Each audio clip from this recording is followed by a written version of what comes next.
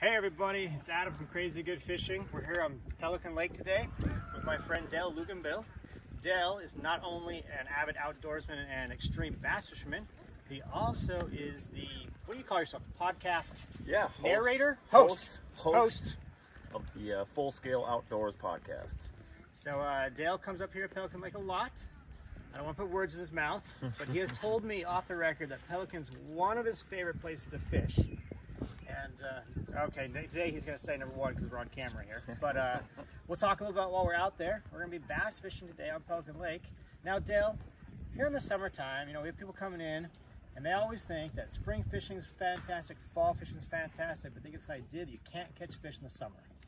There's all sorts of rumors about that from um, the fish lose their teeth and they have sore mouths, which is not true. That's just a wives' tale. Honestly, uh, fishing can get tough in the summertime. One, abnormally warm temperatures can affect fishing. That's a real thing. But the thing that I think people struggle with the most is that this is the time of year there's more real food for fish than at any other time of the year. All the bait fish have spawned out. All the panfish have spawned out. There's little tiny bluegills, perch, crappies, you name it. The minnows are out. The leeches are going. The crayfish are going. Up, up here in the north. And the weeds, lots of cover. And lots of cover. They can hide wherever they want. They're hard. They can be hard to get to. Um, the crayfish do a molt in midsummer. We're not at that pattern yet. Um, and so they'll key in on the bass for sure. Well, everything on this lake eats crayfish. Down to I've cleaned crappies with small crayfish in their belly. Like crayfish is king on this lake. So you're saying they are still eating during the summertime. they're eating more now than they do at any other time of the year. So in theory, if they're still eating, But if you had a plastic pizza and a real pizza, Okay. which one are you going for? I would eat the real pizza. You're pizza. going for the real pizza. That's what. So now you have to really trick these fish into biting something they don't want to eat. Okay, but they will bite if They done correctly. 100% will bite, and we will show you in a little bit uh, some tricks to kind of help what you how you can refine. You know, let's find them, but then how to actually catch them once you find them. Sweet. I'm stoked. Let's Yeah, go let's fishing. do it. All right, so we're gonna be throwing jigs. Most bass fishermen are gonna know what a jig is, but if you're new, I'm gonna explain. And there's different head styles, and they all serve a very specific purpose. If you're gonna, we're at right now, we have some weeds, some reeds. There's weeds out in front of it. So your jig head's gonna want to be more slender and pointed. That's what I didn't grab, but so like a swim jig is one that you throw out and you just reel back. It's very pointed and it's meant to go through these reeds and not hang up on anything. If you're fishing rocks though, you- you're not gonna want that because that arrowhead's gonna find itself in every crevice and crack and you're gonna snag and you're gonna lose the jig. So look at the jig head size. So for rocks, you want what's called a football head, right? That big wide thing is gonna keep it from getting in rocks some better than the others. You're still gonna, unfortunately, bass love cover. Uh, you know, especially your smallmouth. The craggier the rocks, the better. Makes it hard to fish, but that's where the fish are gonna be. So you're just eliminating some of that. Then you have a modified head. This is what I like to use. This is a this is a juice jig by Outkast Tackle.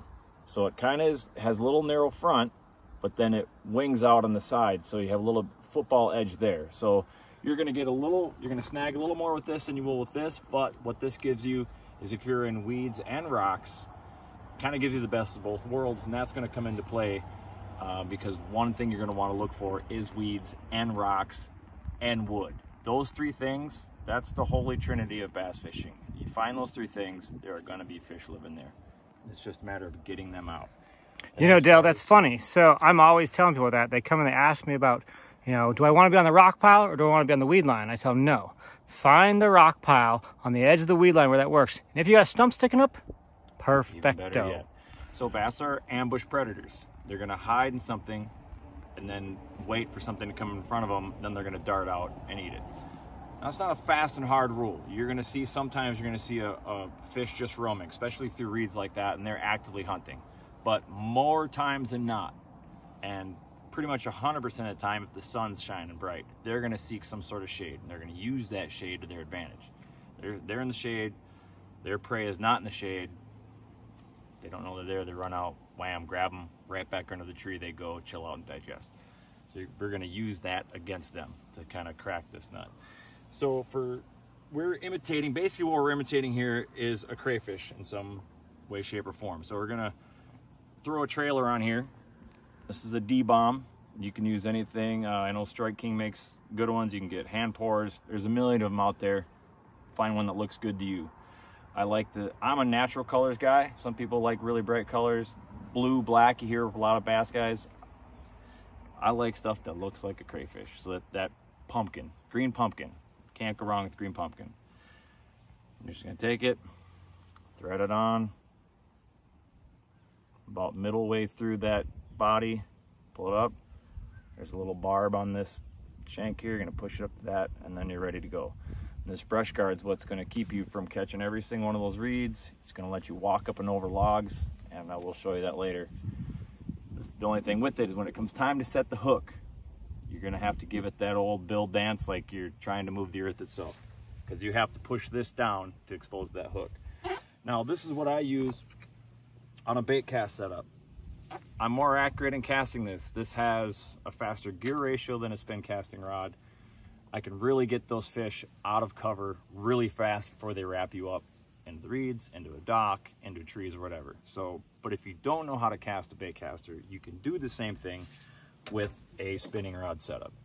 Now, generally speaking, you'll kind of downsize a little bit, but this is a pretty heavy rod, so it's gonna be able to handle a 3 8 ounce jig just fine.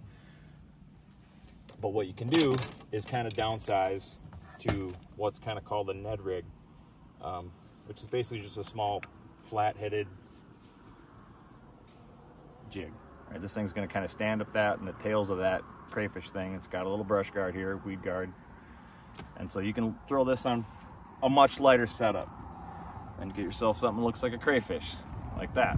This is a Z-Man. These are awesome because they don't break.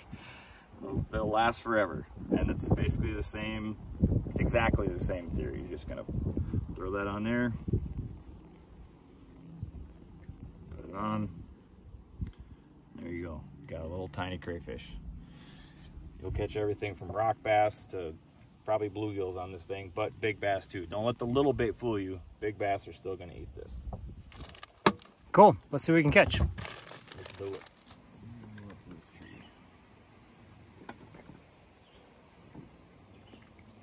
I can't catch one off this tree. I don't even want to say because then you know what.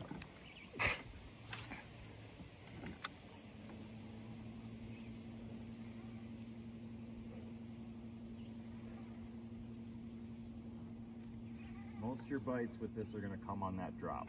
That's why so once your lure hits the water, you're watching your line and you're really paying attention. That's when something's going to happen.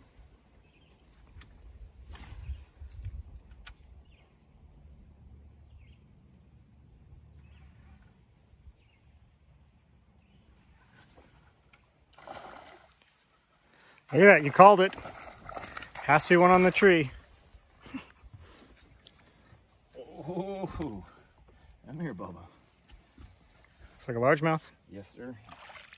Here we go. Just like that. Sweet. Healthy looking fish. Sir. Casting accuracy is definitely tethered to your success rate. I'm always trying to tell Brock that. Well, the closer you can get to that cover where the fish are hiding without getting into the cover. I mean, sometimes they'll, if they're really aggressive, you could be, I don't know, eight feet away from that, and they he's they see that splash and they'll run out and get it. But a lot of times they're just hovering right there.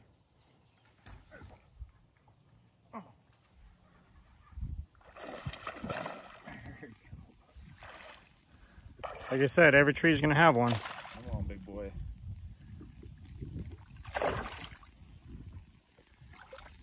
Pro bass flip. That belly. Eating good. Yeah, healthy lake. That's why Pelican grows them big. Love it. This is a good example too. A lot of times overhanging trees may not even be in the water, but they're just that's still kind of creating that canopy and giving them, especially on a sunny day, shade. but cover. Almost get that jig under there.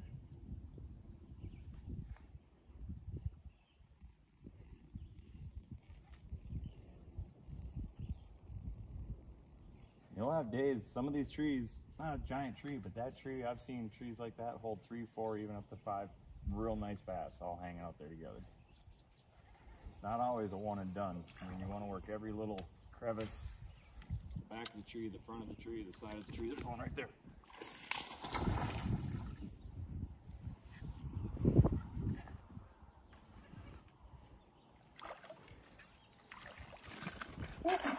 Easy release.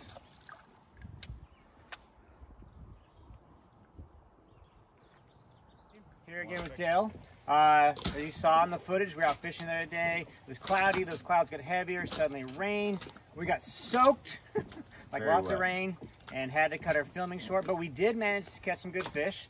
Uh, you saw Dale caught a few of those, you know, pretty nice two and a half, three pound uh, largemouth there. So I really appreciate Dale doing that with me and, and showing us how to do that and describing the technique and everything. We got Dale to stop in this morning for a brief moment here because we want to know a little bit more about Dale and how you guys can find his podcast. And if you want to hire Dale as a guide, how to get a hold of him. So, Dale, tell us a little bit. Full Scale Outdoors Podcast, found on every podcast platform Apple Podcasts, SoundCloud, all of it, Spotify, big ones. It's everywhere you find it. You search it, it should come up. Full Scale is one word. And then every social media page you can think of. Uh, face, full Scale on uh, Outdoors on Facebook and Instagram, uh, TikTok. Even on Even TikTok. on TikTok. It's not just for the kids anymore. Okay, so Um, Full Scale yeah, Outdoors. pretty much anywhere. how many podcasts do you have out there now? I'm edging towards. I think I just uploaded 289. Okay, so almost 300. So if you're into fishing or hunting, 'cause I know you do a lot of bird hunting, Yep, a lot of waterfall a lot hunting. of waterfowl hunting, ice fishing. Dale's really big at ice fishermen. So I got a lot of stuff on podcasts there. Talk about techniques, places to go. Uh, I happen to have been invited to be a guest twice on this podcast. We had a lot of fun. Talk about again, fishing. It's hard getting you a block of time. I know We're resort ownership. broken water lines and stuff. Hey, hey, not on camera. We don't, we don't have any problems. um, so yeah, we you know down there. I've been on with him. We talked freshwater fishing, saltwater fishing, all sorts of things. It's a great show, a lot of fun. So look him up, Full Scale Outdoors. So thanks, Dale. Appreciate your bet. time. That was awesome.